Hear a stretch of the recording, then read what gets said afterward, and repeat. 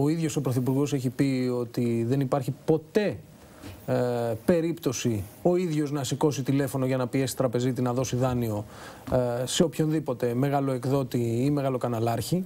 Ε, μπορείτε κι εσείς να, ε, με βάση το ρεπορτάζ σας να κρίνετε ε, αν και κατά πόσο η ελληνική κυβέρνηση έχει οποτεδήποτε, η παρούσα ελληνική κυβέρνηση, η σημερινή ελληνική κυβέρνηση έχει οποτεδήποτε παρέμβει υπέρ οποιοδήποτε μεγάλο επιχειρηματία με τον οποιονδήποτε τρόπο ε, υπόγεια ε, και στο σκοτάδι έτσι ώστε να στηρίξει συγκεκριμένα επιχειρηματικά συμφέροντα. Κοιτάξτε, η κυρία Μπακογιάννη, ε, προσωπική φίλη του γνωστού επιχειρηματία κυρίου Χριστοφοράκου, θα πρέπει να προσέχει λίγο περισσότερο όταν θα αναφέρεται στον Έλληνα Πρωθυπουργό και για τις ε, ε, σχέσεις του με την ε, επιχειρηματική, εν πάση περιπτώσει, κοινότητα. Είναι γνωστό τη σπάση ότι η μοναδική κυβέρνηση η οποία αγωνίζεται ε, εναντίον πρακτικών οι οποίες έφεραν τη χώρα στο χείλος του γκρεμού είναι η σημερινή κυβέρνηση. Και τα μέσα μαζικής ενημέρωσης όπως και όλες οι υπόλοιπες επιχειρήσεις ε, να επωφεληθούν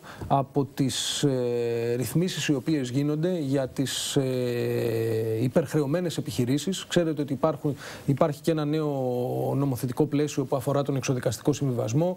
Ε, υπάρχουν πάντα οι διαδικασίες του πτωχευτικού κώδικα. Ωστόσο, από τη δική μας μεριά υποστηρίζουμε κάθε τέτοια πρωτοβουλία εφόσον γίνεται με διαφάνεια και στο πλαίσιο της ε, νομιμότητας δεν υπάρχει καμία περίπτωση να υποστηρίξουμε ε, χαριστικού τύπου διευθετήσεις και χαριστικού τύπου αναδιαρθρώσεις δανείων όπως έκαναν οι προηγούμενες κυβερνήσεις. Ε, θα ε, ενισχύσουμε εκείνες τις επιχειρήσεις ε, οι οποίες είναι βιώσιμες σύμφωνα με τον νόμο και δικαιούνται τα ωφελήματα τα οποία προβλέπει το νομοθετικό πλαίσιο το οποίο υπάρχει.